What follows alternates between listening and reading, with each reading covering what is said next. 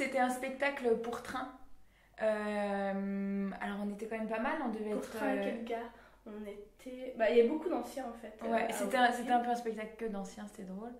En fait, il n'y a pas d'histoire réelle, c'est plein de petits personnages qui ont eu un monologue, confrontés à plusieurs euh, personnes dans le train, hommes, euh, femmes, petits enfants, euh, personnes âgées, etc., et qui racontent leur vie.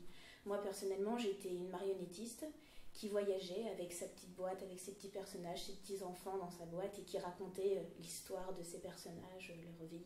En fait, on faisait des, des passages dans le train. On avait trois chansons, donc euh, on chantait euh, et on passait une bonne fois dans le train. avec nous aussi. Voilà, c'est ça.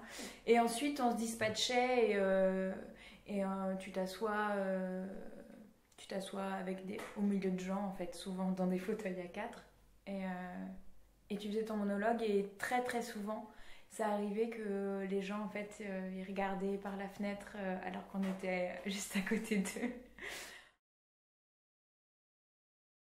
J'étais un personnage qui buvait euh, beaucoup de vin. J'avais, en fait, on avait tous des valises, on avait tous travaillé avec Julien de Sailly pour transformer des valises, et c'était un peu le, Voilà, comme si c'était un une travail plastique. en voilà, fait. comme si c'était une mini scéno- scénographie. Et moi, j'ai eu la rencontre d'une femme bourrée dans le train, donc c'était.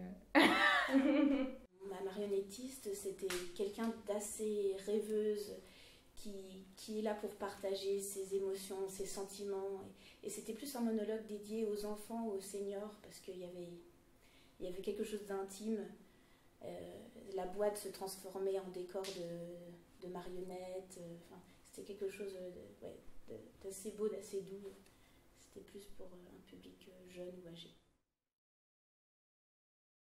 Pour le coup, c'est vraiment une aventure humaine, quoi, parce que déjà, on rencontre plein de gens et, et les réactions, c'est tout et n'importe quoi. Puis voilà, c'est vraiment des gens qui sont pas sensibilisés au théâtre, enfin, on va voir n'importe qui, ou des gens qui aiment le théâtre, mais le théâtre assis dans un opéra.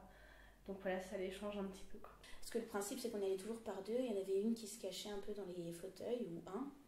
Et il voyait son partenaire jouer, euh, un peu pour s'il y a un accident, euh, voilà, qu'elle- que la personne ne soit pas tout seule. Et on a, on a eu des situations où euh, c'était tellement bien avec euh, les personnes qui nous ont accueillis dans le train que finalement on échangeait. Moi, je prenais la place de la personne qui se cachait et l'autre euh, jouait parce que les gens ont redemandé. Moi, J'avais eu un super, un super truc avec une femme. moi, je distribuais des gâteaux à chaque fois aux gens. Et une femme qui, avait, qui était partie voir sa fille en Belgique ou je sais plus où, qui avait fabriqué des gâteaux et donc on a fait un échange de gâteaux euh, standard. euh, elle a offert des gâteaux à toute la troupe. Il y a d'autres moments, il y a eu des conflits, on a dû arrêter de jouer, repartir dans notre coin.